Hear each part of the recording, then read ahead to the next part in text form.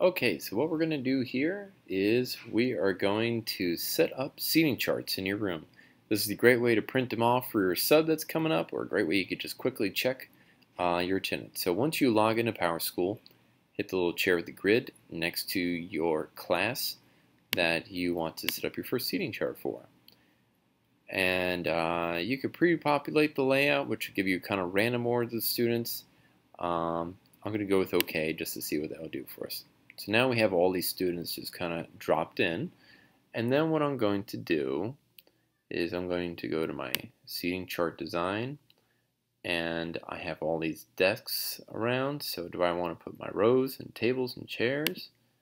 Uh, quickest way to do this, if you know how many kids you have, I pick the row. And let's say I had um, typically about how many chairs? Let's say I had a class of 25 desks in it. I hit add, and when you drag a picture, when it's all glowing, it won't work.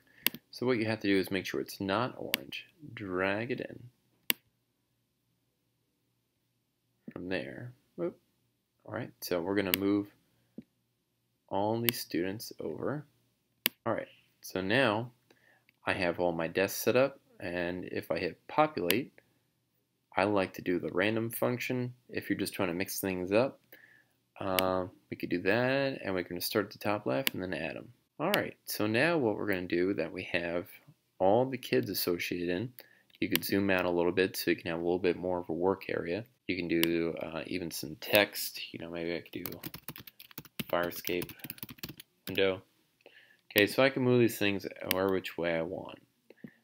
Now what I want to do is I want to start making up my Kagan groups. Sure, I would have some data to group these kids up.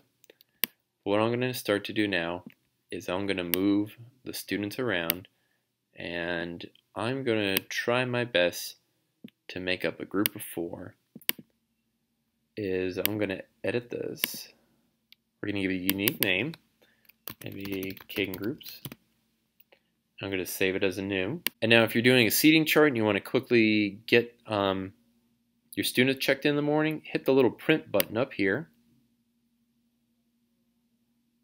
And um, sometimes you'll be lucky if you could squeeze everyone in when you print in portrait style. Sometimes you have to change it to a landscape to make sure. Also notice that your class name will be printed up here. Make sure you're in, I like new layout bracket. Now, start from pre-existing layout. The next school year, there's our group, Kagan group. Finish. There we go.